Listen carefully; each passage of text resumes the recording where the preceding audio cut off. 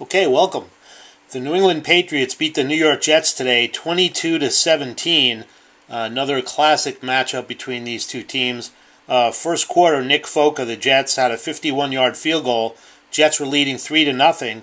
And then second quarter, Brandon Marshall of the Jets caught a 1-yard pass for a touchdown from Ryan Fitzpatrick and it was 10 to nothing Jets and it looked like uh, the Jets might run away with this one, but then all of a sudden, the momentum started to change, and uh, Tom Brady, who after his first few series uh, uh, didn't do that well, and all of a sudden he started to find his rhythm, and the momentum turned.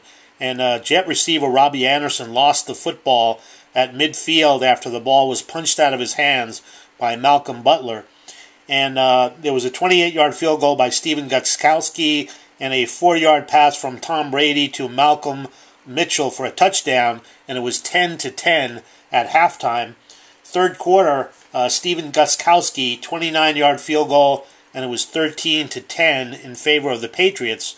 Fourth quarter, Quincy Enunwa of the Jets caught a 22 yard pass from Ryan Fitzpatrick, and it was 17 to 13 in favor of the Jets. Now the Patriots come back. Gostkowski kicks a 41 yard field goal, but the Jets are still leading 17 to 16 with only a few minutes to go. Once again, looks like the Jets might just pull this one out, but you know Brady's been here before and uh, throws an eight-yard pass to Malcolm Mitchell for a touchdown, and they get the two-point conversion to James White, and it was 22 to 17 in favor of the Patriots, and that's the way it ended.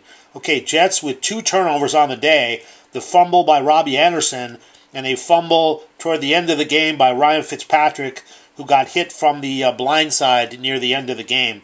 Okay, Tom Brady on the day, 30 of 50 for 286 yards with two touchdowns.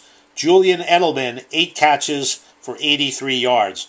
Ryan Fitzpatrick, 22 of 32 for 269 yards with two touchdowns.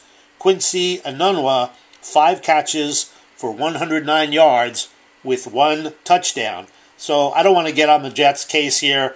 They uh, this game was within reach, and they they didn't quite uh, make it, but they did play a tough uh, Patriot uh, team here today. Patriots win 22 to 17 over the New York Jets. This is John. Thanks for watching.